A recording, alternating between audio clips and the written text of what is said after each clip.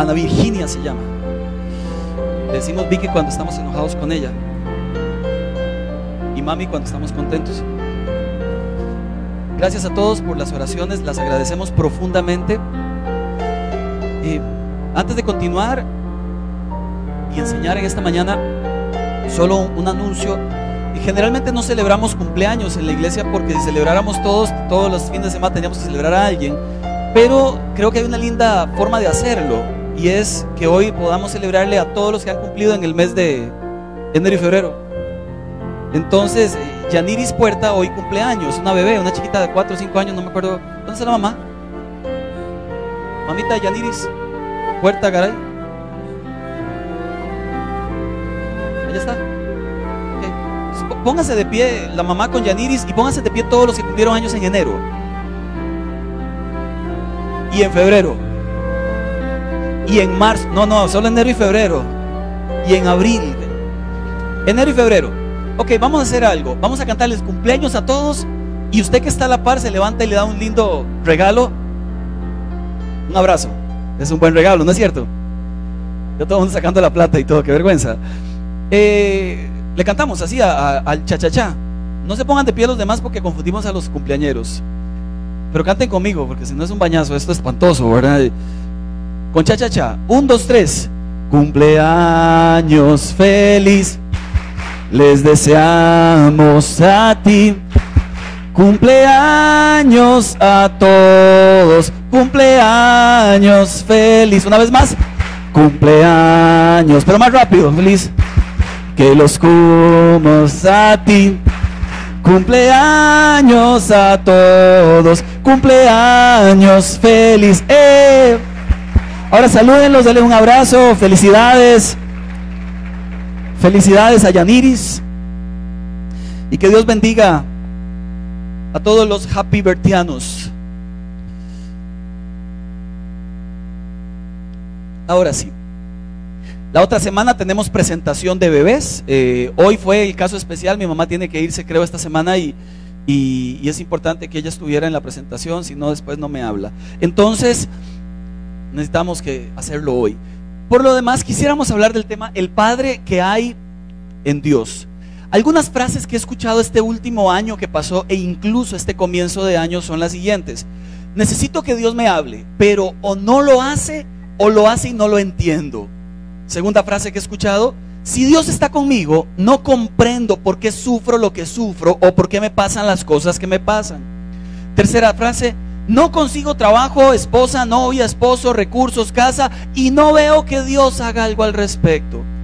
Cuarta frase, me está yendo mal en mi empresa y es raro porque la puse en manos de Dios. Y quinta frase con cierre dramático, Padre mío, por favor, necesito una respuesta.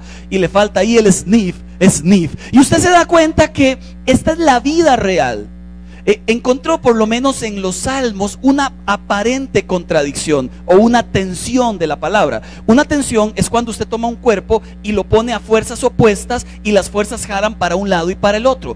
Salmo 22, por favor, si lo puede buscar en su Biblia el salmista, el gran rey David, allá metido en las colinas, en las montañas, hace una declaración que creo yo hemos hecho nosotros por lo menos una vez cada semana o por lo menos una vez en el año, ¿verdad? Esta es la declaración que hace el salmista en el Salmo 22, verso 1. Si usted no tiene Biblia, pídale perdón a Dios y se compra una y luego la sigue trayendo a la iglesia. No es broma, bueno, más o menos. Dios mío, Dios mío, dice el salmista, ¿por qué me has abandonado? Lejos estás para salvarme, lejos de mis palabras de lamento. Mire, usted termina de leer el salmo y se llena de ánimo, pero al principio es un salmo que no anima a nadie y que incluso uno puede releerlo y pensar, esto lo he dicho yo, esto lo he vivido yo. Curiosamente, el mismo que escribe el Salmo 22 es el mismo que escribe el Salmo 23. ¿Se acuerda qué dice el Salmo 23? El Señor es mi pastor, ojo, nada me faltará. ¿Qué dice? ¿No? ¿Qué más dice? Junto a aguas de reposo me pastoreará, confortará mi alma, me guiará por sendas de justicia por amor de su nombre. Aunque ande yo en valle de sombra de muerte, no temeré mal alguno, porque tú estarás conmigo. Tu vara y tu callado me infundirán aliento. Aderezas mesa en presencia de, de mis angustiadores, unges mi cabeza con aceite, mi copa está rebosante. ¿Cómo termina? Ciertamente el bien y la misericordia del Señor me seguirán todos los días y en la casa del Señor moraré por la... ¿Verdad que no parece el mismo el Salmo 22? El del Salmo 22, ¿dónde estás, Señor? ¿Qué te hiciste? Pero en el Salmo 23, tú eres todo en mi vida. Me pastorearás, me cuidarás, me cubrirás. Parecen otro. Sin embargo, no es otro. Es alguien que vive diferentes etapas de vida. Es alguien que entiende que en la vida se llora y se ríe que en la vida nos va bien y nos va mal, que en la vida un día sobra y otro día falta, que en la vida un día llueve y otro día hace sol. Es alguien que comprende que la vida se vive por estaciones. Hay momentos de lluvia y hay momentos simbólicamente de verano. El problema no es la lluvia, el problema no es el verano. El problema es la ropa que nos ponemos en tiempo de lluvia o la ropa que nos ponemos en tiempo de verano. Eso sí es un problema.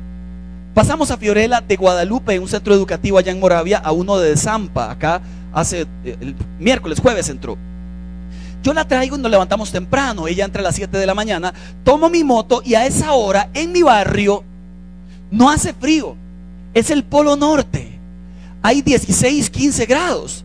Yo como siempre ando en moto, ya sé, me pongo mi jaque, me pongo los guantes, me encamuflo completamente y le digo a Fío, mi amor, montese. Ella está emocionada porque los, los últimos cinco años de su vida ha usado pantalón en esta escuela es en agua, en agua pantaloncito. Ella está emocionada por usar su bendita en agua y yo le dije, se va, te va a hacer frío. Ella me dijo, no papi, no se preocupe. Porque los hijos suelen creer que saben más que los papás. No, mi amor, que le va a hacer frío. No, papi, no se preocupe. Ok, no me preocupo. Y arranco. 15 grados, 14 grados. Ella me dijo, no me preocupe. Y como yo quiero que ella aprenda, a veces la mejor lección es que se lleve un sopapo, ¿verdad? Para que no sea tan jupona como el tata. Entonces arranco la moto, me vengo a esas temperaturas, mire, con guantes y demás, y yo venía temblando. Llegamos a Desampa y apenas nos bajamos de la moto, le pregunto, ¿cómo está? Y me dice, bien. El único problema es que no siento las piernas, me dice, pero yo estoy bien. Se baja y las piernas estaban moradas y se le hacían así para todos lados. Gracias a Dios por la emoción, porque iba emocionada y no le importó el color de sus piernas. Pero sí comprendo que el problema no era el frío, era que no andaba la ropa adecuada para ese momento. El problema no es lo que nos ocurre, el problema es la concepción que tenemos de este Dios que está con nosotros. Dios se ha presentado en la Biblia como un Dios que es Padre, pero no todo el mundo comprende qué significa eso. Y no se comprende por lo menos por cuatro cosas. Uno, porque los que no tuvimos papá, o los que tuvieron uno pero era como si no existiera, o machista, peleón, mujeriego, posiblemente hemos visto en esa carencia a Dios. Y todo lo que nos faltó de papá, le echamos la culpa a Dios y nos cuesta relacionarnos con Dios. Dos, porque hay una lejanía gigantesca de la palabra de Dios y el Padre que hay en Dios se conoce a través de su palabra. Una persona que no lee la Biblia o que la abre solo cuando el pastor le dice o que ni siquiera la trae al culto, ¿cómo pretende conocer al Padre que hay en Dios? Cuando la abre salen telarañas. Mire, hace tiempo no la abre. La tercera razón es porque vivimos en una sociedad muy humanista. Entiéndase humanismo como la capacidad del ser humano de salir adelante sin Dios. Eso es puro humanismo. Entonces la gente cree que no ocupa al Padre que hay en Dios. Y la cuarta, porque tenemos el concepto de un Dios materialista. Él existe para darme todo lo que le pido. Y el día en que no me lo dé, me enojo. No le hablo, me voy de la iglesia, le hago pucheros y grito. Estos conceptos han distorsionado la imagen del Padre que hay en Dios. Yo quisiera hoy aterrizar un poquito este concepto. Escuché un pastor que lo predicó de esta manera y me gustó. Jesús dijo, yo soy el camino, yo soy la verdad, yo soy la vida. Nadie llega al Padre si no es a través de mí. Al predicarlo de esta manera está estableciendo dos parámetros. Uno, hay un camino, pero ese camino me lleva a un destino. El camino no es propiamente el destino. Por el camino transito para llegar al destino. Jesús se presenta como el camino y el destino es el Padre. Si una persona se entretiene en la iglesia pero no ha comprendido el concepto de llegar hasta el Padre y tener dependencia del Padre y vivir en relación con el Padre y comprende las facetas del Padre, solo está dando vueltas en el camino, pero no deja de llegar hasta la misión final de Jesús, que era que aprendiéramos a conocer a Dios como papá. Yo quisiera darle cinco características de Dios como Padre, posiblemente con algunas se pueda sentir identificado. Y quiero sacarlas de la oración del Padre nuestro. Mateo capítulo 6, versículo 9, por favor. Mateo capítulo 6, verso 9. Ya usted se la sabe, la, la decimos. Es una oración que Jesús nos enseña no para que la repitamos semana, semanalmente, sino para que extraigamos de ella una forma de comunicación con Dios. Padre nuestro, que estás en el cielo, santificado sea tu nombre Venga tu reino, hágase tu voluntad en la tierra como en el cielo. Danos hoy nuestro pan cotidiano de cada día. Perdona nuestras deudas como nosotros también perdonamos a nuestros deudores y no nos dejes caer en tentación, sino líbranos del mal. Voy con las primeras características y las va notando mejor todavía. Dios es un Padre presente. Empieza el Padre nuestro en el verso 9. Padre nuestro que estás en el cielo. La idea de Jesús era una, traer esa cercanía de ese Padre que está en el cielo a la cotidianeidad de nuestras vidas. Un Padre presente significa un Padre que ama. Miren qué gran amor nos ha dado el Padre para que seamos llamados hijos de Dios. Y establece un parámetro. No todos somos hijos de Dios. Todos somos criaturas. Pero hijos hasta el momento en que le recibimos a Dios por Padre. Y nos llama hijos tanto es su amor que nos llama hijos. Lo segundo es que se deleita en sus hijos. Para los que somos papás comprendemos este concepto. Le voy a contar un secreto que medio lo notó ahora. Tiago llora. Mucho. Y cuando se ha cansado de llorar, sigue llorando. Me han preguntado quién lloró más, Fiorella o Tiago. Mire, se van a penales. Igualitos, igualitos. Entonces, cuando llego a casa, lo bañamos, le damos de comer, ahí pasa. Sin embargo, le digo algo, a pesar de que es un llorón, no hay momento en que no piense volver a casa en carreras para abrazarlo, molestarlo, levantarlo, tira, ya sé por qué llora. Mire, no hay momentos en que llegue a casa para decirle cuánto lo amo y le hago el pelo para atrás y lo hago y le doy, mire, no me importa que llore. Yo quiero deleitarme con mi hijo. Así creo hay mucha gente en Dios. Unos llorones. ¿Qué sol? ¿Cómo llueve? Me falta plata. Tengo mucha. Qué pereza. Mire estos pelos. Mire qué ojos. Mire qué orejas. Mire qué cosa terrible. No sea llorón. Igual Dios le ama. Y seguro lo agarra como yo a Tiago y le dice, que huila más llorón, pero cuánto lo amo. Mire, Dios se deleita en nosotros porque nos ama.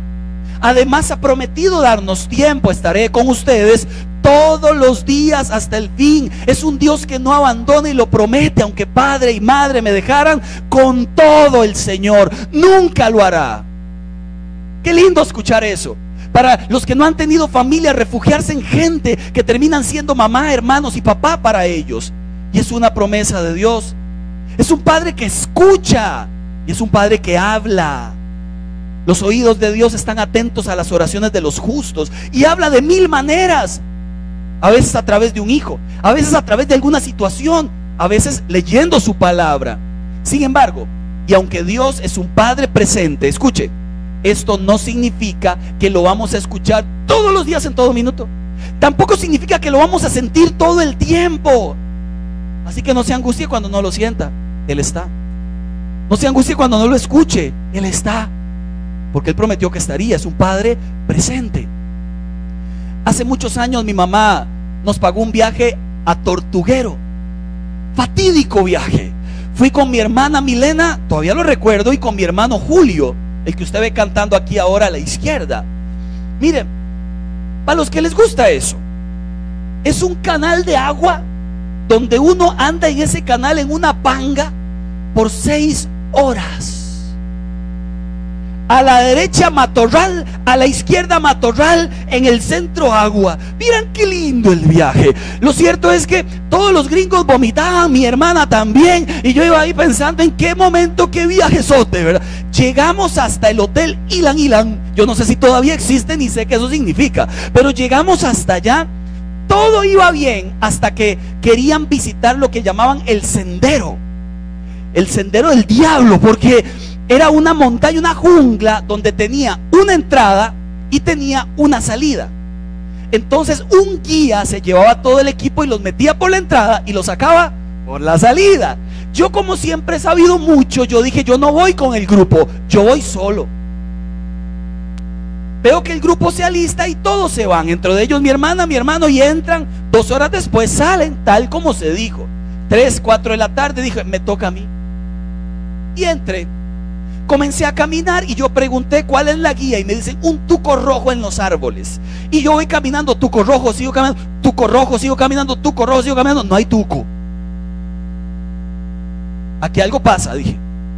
Entonces sigo caminando. Mire, yo no sé si ha visto esas escenas de película donde uno pone un árbol, Marco was here. Entonces pasaba y yo volví a ver mi nombre, Marco was here. Qué raro, este palo lo conozco, ¿verdad? Le daba vueltas en círculo. Hora y media y yo no salía. Dos horas y se me ocurrió hacer lo que haría alguien después de dos horas de perdido. ¡Auxilio! ¡Help me! ¡Alguien que me ayude! ¡Estoy perdido! A gritar. Toda la gente allá disfrutando de la cena y yo perdido en la jungla por un infeliz tuco rojo. Dos horas y media llevo perdido. Se salían dos horas. Se me ocurrió lo mejor como no encuentro la salida, me devuelvo por la entrada. ¿Y qué cree? No encontré la entrada.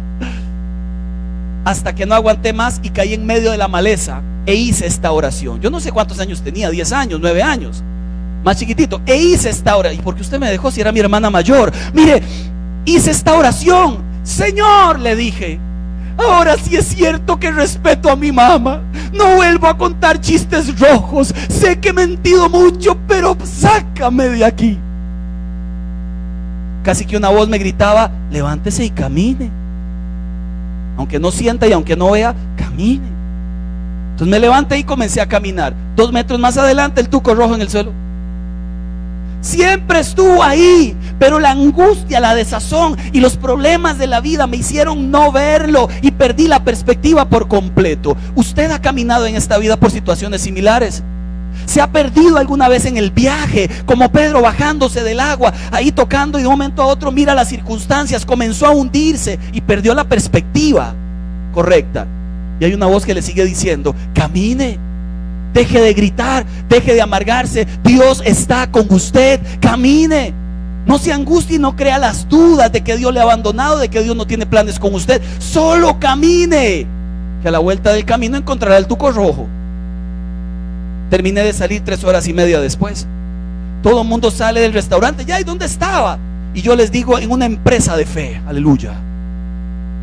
No, no dije eso. Me puse a llorar. Estaba angustiado pero comprendí que aún en mi momento más oscuro, Dios estaba presente, porque es un Padre que es presente. Segunda característica de este Dios la encuentro en el verso 10 de Mateo 6. Venga a nosotros tu reino y hágase tu voluntad, así en el cielo como en la tierra. Dios es un Padre soberano. ¿Cuántos dicen amén? Qué lindo suena, ¿verdad? Amén. Ahora le digo a Yayay. ¿Sabe qué significa que Dios es un Padre soberano? Que aquí se hace su voluntad, no la suya. Que aquí lo que tiene que imperar es la voluntad del rey, no del súbdito. Que aquí lo que tiene que hacerse es aquello por lo cual fuimos creados, no mi voluntad y meter a Dios dentro de mi voluntad. Dios es soberano, nos da propósito de vida, nos llena de su Espíritu Santo, nos da gracia para cada día, pero le digo algo, su soberanía no significa que tiene que darnos todo lo que pidamos. Significa que nos da lo que más conviene y lo que está dentro de su plan. Hace tres años, atrás dos años y medio ya, Jackie y yo oramos. Saben, yo tengo una hija de 20 años, Eugenie Fiorella, ahora de 11, pero hace dos años dijimos, Jackie y yo, Señor, ¿será el momento de tener otro hijo? Oramos botamos las pastillas, dijimos sí, trabajamos en el asunto, mire, y quedó embarazada. Una bendición. En esa misma semana o 15 días después, cinco personas más de la iglesia quedan embarazadas. Fue una fiebre de bebés.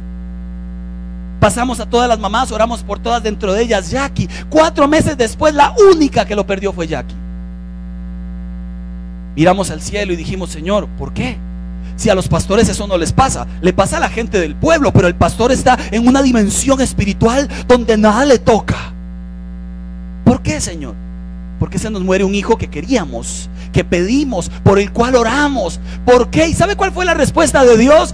Ninguna. Se llama soberanía.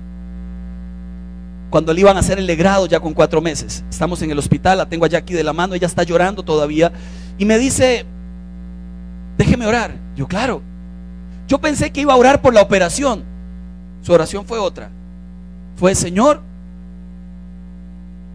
este bebé cumplió un propósito. Y el que no haya nacido cumplió otro también. Lo entrego en tus manos.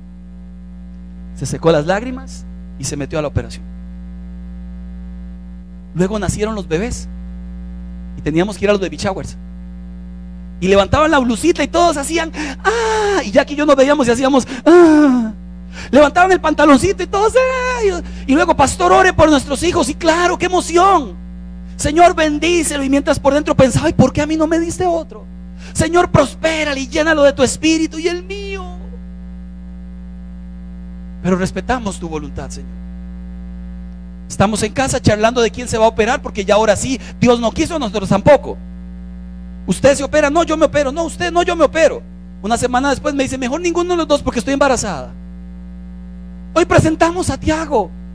¿Sabe cómo se llama Tiago? En lugar de Tiago se llama soberanía de Dios. A él no lo pedimos. Pero qué bendición que Dios lo mandó. A él no lo esperamos, pero dentro de su plan perfecto ya lo tenía concebido. Qué bendición que Dios fue perfecto y que en su soberanía, aunque no entendimos nada, en nuestro baby shower que hicimos aquí en la iglesia, que fue abierto a toda la iglesia, levantamos el pantaloncito, ahora era Jackie y yo diciendo, ah, y los pañalitos, ah, y la chupetita, ah. Y hoy nuestra oración fue, Señor, cumple tu propósito también con Tiago. Se llama soberanía de Dios. Y Dios es un Padre soberano, que todo lo que hace lo hace perfecto, aunque nosotros no entendamos nada. Tercera característica de este Padre está en el verso 3. Danos hoy nuestro pan de cada día. Número 3.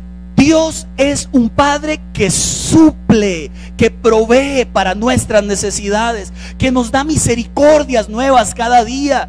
Independientemente de lo que usted vivió ayer, fuera bueno, fuera malo, fuera muy malo.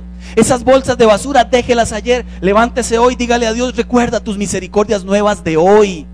Es un Dios que suple alimentos, suple misericordia. Es un Dios que nos da, escuche, sin merecer nada a nosotros. Nos da porque es bueno. Sin embargo, su bondad no significa que no tengamos que pasar por tiempos de escasez. Le recapitulo tres cosas. Dios es un Padre presente, aunque a veces no lo escuchemos. Si está. Dios es un Padre soberano, aunque no nos dé todo lo que le pidamos, sino lo que Él considera más conviene. Dios es un Padre suplidor, aunque en etapas de nuestras vidas tengamos que vernos a pelitos y repetir la frase de, de Pablo cuando dijo, he aprendido a contentarme en las buenas y en las malas, tenga o no tenga, en pobreza o, en riqueza, sé lo que es agradecer a Dios. Le digo, estoy en la universidad, saco el título y me gradúo para alguien que la ha pulseado toda la vida, eso es muy importante. Llego Melico Salazar, 400 personas, fue mi mamá y fue mi hermana mayor y mi esposa. Yo paso ahí al frente, mire, con una cara de emoción. Es el título de la universidad. Me he matado estudiando, yo me lo pagué. Doble esfuerzo. Cuando voy caminando por ese pedazo de cartón, Vengo emocionado, lo tomo y busco en el público. ¿A quién busco? la gente que quiero. Miro y está mi mamá. que si hubiera tenido la oportunidad grita, ese es mi hijo. Gracias a Dios no lo hizo. Está mi hermanilla con los ojos como el gato, el gato con botas. Así que vidriosas. Está mi esposa que me ha apoyado en todo. Ahí están las tres. Sin embargo, miro más a la derecha y, no está mi papá. ¿Saben por qué no está? Porque nunca estuvo. No tenía por qué estar. Miro a la derecha y, y algo se pienso. Ahí tenía que estar un viejo. No está. Y algo me dice de arriba, sí está. Te dio aire cada mañana. Te dio alimento en la mesa. Te dio fuerza para trabajar. Te dio trabajo. Te dio noches largas para estudiar. Sí está. Ahí estuvo en las buenas y en las malas. En el llanto y en la alegría. En los momentos más duros y en los más suaves. Sí estoy. Aquí estoy. Terminé, tomé el título, ellas ni cuenta se dieron. Lo levanté al cielo y le dije, gracias papá, porque me ha suplido más de lo que pude haber imaginado. Si está. Es un padre presente. Es un padre que además es soberano, es suplidor. Cuatro, una de mis favoritas, creo por tortero. Perdona nuestros pecados, como también nosotros perdonamos a los que nos ofenden. Dios es un Padre perdonador. ¿Sabe? Lo es porque Él perfectamente comprende lo que la tentación significa. Dice Hebreos que no tenemos un sumo sacerdote que no que sea capaz, incapaz de compadecerse de nosotros, porque Él fue tentado en todo, más sin pecado. ¿Entiende la tentación? ¿Entiende la traición? Todos le abandonaron, como a usted y a mí nos han abandonado también. ¿Entiende lo que somos y aún sabiendo cómo somos nos mandó a llamar? Sabe que somos polvo, que fallamos, sabe que estamos en esta carne, que herimos y nos hieren. Él lo sabe. Y aún así nos mandó a llamar. Sin embargo, su perdón no significa que no tengamos consecuencias. Una cosa es la misericordia y otra cosa es la consecuencia inevitable. La muchacha que queda embarazada, y lo he dicho varias veces, por estar jugando, queda embarazada y al final, Señor, perdóname, sí la perdona, claro, pero póngale nombre al bebé. Se llama consecuencias. Una bendición, Dios lo convierte en bendición. Pero no pensemos que una cosa se desliga de la otra. Y no llamemos malo a Dios porque la consecuencia nos persiguió y nos alcanzó. Fue hace unos años atrás, bastantes gracias a Dios, que voy por las calles de la Juelita en mi carro y hay un muchacho pegándole gritos a alguien, no sé a quién. Y yo que soy medio vina, entonces me detengo ahí a veces. Sí, paro el carro. Y, Veo que quien le grita a ese alguien anda literalmente descalzo, el pantalón roto, la camisa llena de sangre atrás, el pelo parado y la cara tostada del sol sin Copperton. Ese alguien es Julio, mi hermano. El que usted ve hoy cantar acá. Sumergido en una vida de pecado, en drogas, sin poder salir de ella. Y yo lo veo seco, como con 50 kilos. El que usted ve ahora está bastante hermoso pero estaba seco. Y yo me detengo, se me parte el alma, es mi hermano. Tenemos años de buscarlo y de intentarlo. Y él anda por la vida. Lo monto en el carro. ¿Con quién pelea? Ay, mi hermanillo me dice, se monta el carro. Lo lleva a una panadería, tiene hambre. Me dice, ¿usted qué cree? Siempre tengo hambre. Compramos pan, compramos queso, nos quedamos charlando en el carro y me dijo, usted me cae mal. Ah, yo dije, qué lindo tras de que debe cobra lindo. ¿Y ahora por qué? Porque usted un día me dijo que prefería verme muerto que verme así. Y eso me marcó el alma. Yo le dije, Julio, yo no quiero verlo muerto, pero para verlo así, sí. Y se lo volví a repetir. Más se enojó, es que es lo que me dice, entonces me bajo el carro. Yo le tomo hombro y le digo, por Dios, ¿no te das cuenta que te haces y nos haces daño? Él me mira, se le mojan los ojos y me dice, ¿y usted piensa que yo quiero estar así?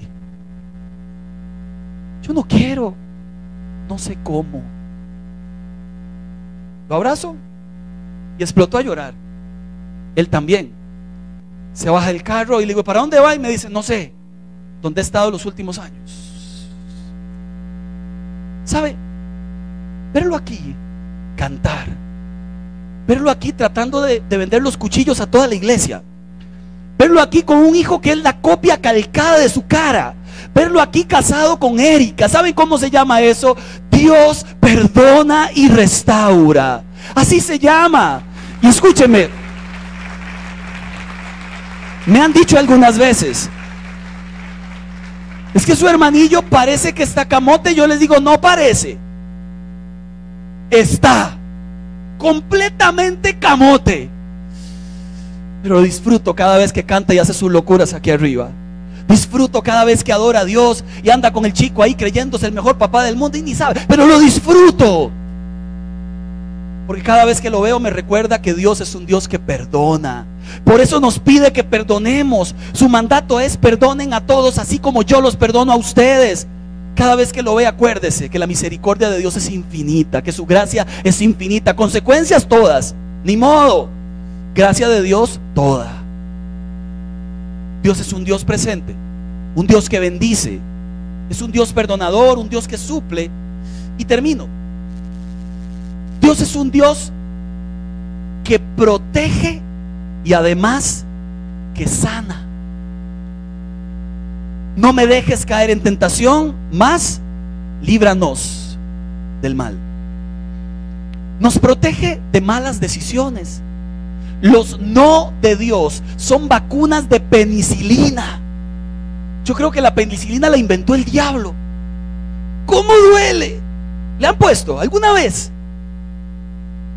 Infección en la garganta. Mami me llevó y me pusieron y yo comencé con la risa nerviosa.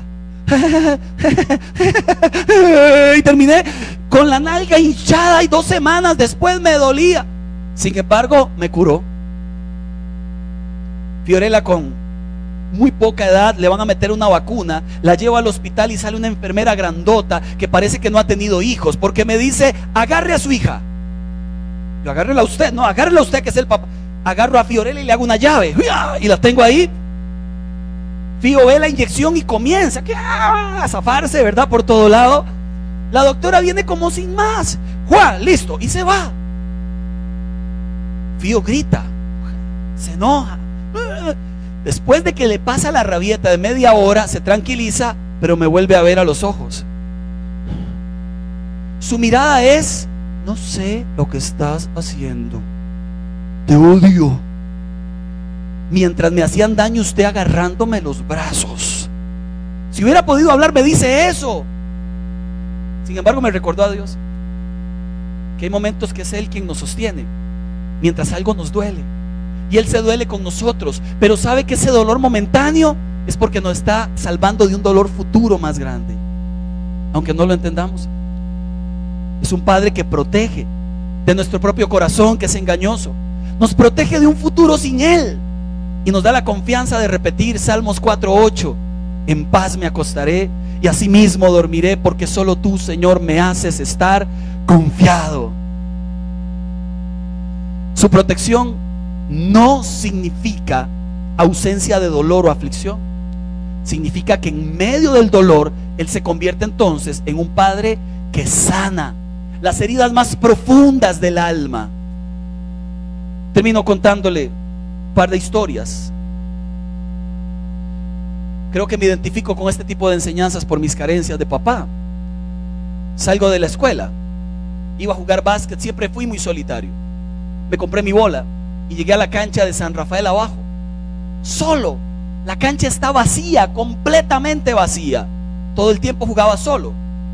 Tomé la bola y hago la primer canasta. ¿Y entró? Qué bueno. Tomo la bola y hago la segunda canasta, así, seis, siete, llevo nueve canastas. Y una vez más me vuelve a pasar lo que me pasó en el auditorio de la universidad. A la número 10 digo, si me vuelvo y hago la 10, estará alguien diciéndome, qué bien. Estará alguien aplaudiendo porque esto es digno de, un Guinness Record. Un niño pequeño que haga 10 canastas seguidas en un aro tamaño oficial pico la bola y yo dije, yo voy a volver a ver, pero yo sé que no hay nadie. Sin embargo, qué lindo que hubiera alguien. Pero yo sé que no hay nadie. pero voy a volver a ver. Pero mejor no veo porque si veo y no hay nadie me voy a sentir mal. Pero yo quiero ver. Yo quiero hacer la 10 y si hago la 10 veo. Si no la hago no veo. Pero yo sé que no hay nadie aunque yo quisiera que haya. Y estoy en ese debate del alma. Pico la bola una vez más, sigo intentando no ver, hago y entra. Me quedo viendo para el suelo, vuelvo a ver. No hay nadie, ni tiene por qué haber nadie. Y una vez más, vuelvo a preguntarme, Señor, ¿dónde estás? ¿Dónde estás? Y un Dios aparece y comienza a escarbar y a sanar las heridas más profundas del alma. Si está, si estuvo, si estará. Sin embargo, hay que reconocer la necesidad de papá. Hay que rendirse ante esa necesidad y decirle a Dios, Señor, por más que quiera jugar de intrépido, no puedo. Hay que perdonar al papá que tuvimos si es que fue un mal modelo y dejar atrás lo que debe quedar atrás. Hay que aceptar la paternidad de Dios. Él dijo, seré para ustedes por padre y ustedes me serán por hijos e hijas. Tenemos que liberarnos de la historia pasada y hacer duelo, el que tengamos que hacer, y avanzar. Termino, ya le dije termino y no he terminado. Termino. Hace dos días, tres, estamos con Tiago. Está de moda mencionarlo porque todas las historias ahora están de Tiago y no son tan bonitas. Estamos ahí en la cama, dos, tres de la mañana, él se despierta como habitualmente hace y llora, como habitualmente hace. Jack y yo nos despertamos, es la tercera vez que se ha despertado en una hora. Rápido, ¿qué hacemos? Usted le digo, cámbielo mientras yo le doy chupón y póngale pecho, llenémoslo para que se duerma. ¿Se ha visto un chiquito cuando está reventado de lleno? Que queda así, ¿no? Que, bueno, Tiago no se llena, no sé por qué, pero usted le da. entonces Jackie lo revisa y, ve y lo limpia, le quita el pañal, y mientras el pleito yo le pongo el chupón, le quito chupeta, le peinamos un poquito, va de nuevo, pañalito, de todo. Nos da la una y media de la mañana. Yo tengo que trabajar. Pero se pone inquieto. Y el cólico y, y te retuerce y yo mi amor, tranquilo, y lo abrazo. Mire, terminé haciéndole el purito. ¿Usted ha visto el purito? Usted pone la cobija, le pone los brazos abajo, que cuesta ponérselos abajo porque siempre los saca para arriba como un boxeadorcillo. Le amarra la cobija y, solo le queda la cara. Como, como en la película de, de la era del hielo. Y con la cara del viento me hacía la cara. Le vuelvo a meter el chupón, queda lleno, termina. Y es una cosa. Yo, yo creo que yo tengo poca paciencia. Creo. Llegó un punto en donde ya no aguanté más. Porque una cosa es contarlo y otra cosa es estar ahí. Usted sabe, si ha estado ahí, usted sabe lo que eso significa. 24 noches sin dormir y todavía una 25 es muy cansado. Yo lo tomo mirándolo a la cara y le digo, Tiago, ¿qué le? Ya, ya frustración. Por Dios le digo. Estás cambiado, estás bañado, estás lindo, hueles rico, estás lleno, tienes chupeta nueva, gorrito y cuatro cobijas. Además, encima de mi pecho musculoso y peludo, ¿qué más quiere? Le digo.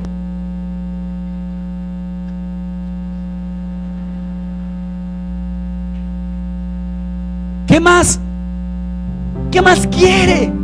¿Qué más deseas que haga? Yo lo hago, pero deje de llorar. Esa pregunta se la hace Dios hoy a usted. ¿Qué más tiene que hacer Jesús para que usted deje de llorar? ¿Qué más tiene que hacer el Señor para que usted lo busque con pasión? ¿Qué más tiene que hacer Cristo para que usted realmente le busque como un padre?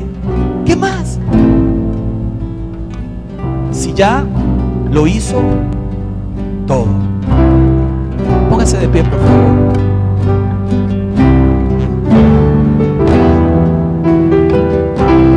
Le invito a que cierre sus ojos un minuto nomás. Señor, Señor, en el nombre de Jesús, queremos orar en esta mañana. Algunas historias acá vienen de historias tristes de papá que nos han marcado la vida que nos cuesta ahora relacionarnos contigo. Sin embargo, miramos a la palabra Y tú nos proteges aunque haya dolor. Y tú estás presente aunque a veces no te sintamos. Y tú nos provees aunque en momentos de crisis hayamos tenido que superarlas. Y tú nos sanas. Aún a pesar de que en algunos momentos la herida se vuelve a abrir igual. Quisiera que pudiéramos cantar esta canción que cantamos ahora, pero que usted pudiera levantar sus manos al cielo y decirle al Señor, Padre, sé el centro de mi vida. Con conciencia, sé el centro de mi alma y de mi corazón. ¿Le parece? Levante sus manos al cielo y le decimos al Señor, Padre, sé el centro de mi vida. Sé tú el centro de mi corazón. Sé tú el centro de mi espíritu, Señor. El centro de mi vida sé Jesús. El centro de mi vida sé Jesús. Desde el principio y hasta el fin, tú has sido y siempre serás Cristo. Cristo, tú eres el centro. Nada importa más que tú.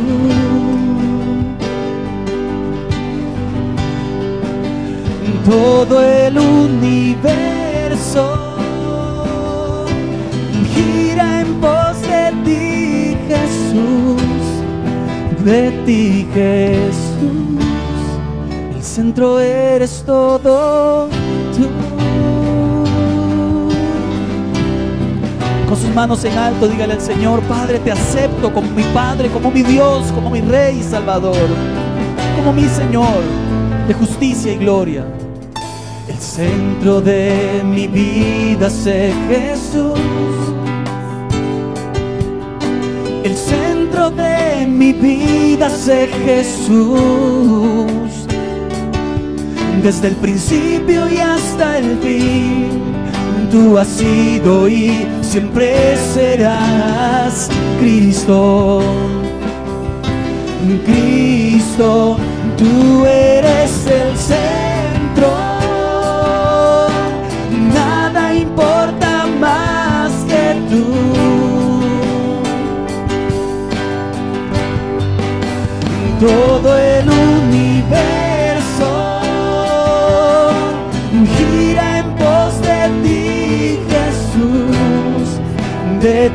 ti,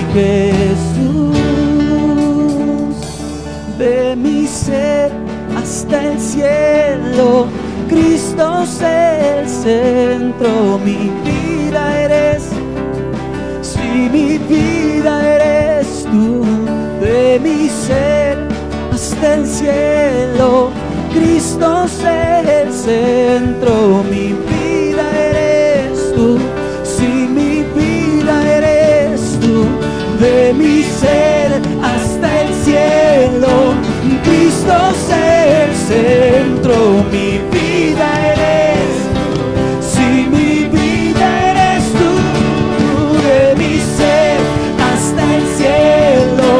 Cristo el centro, mi vida eres tú, si mi vida eres tú.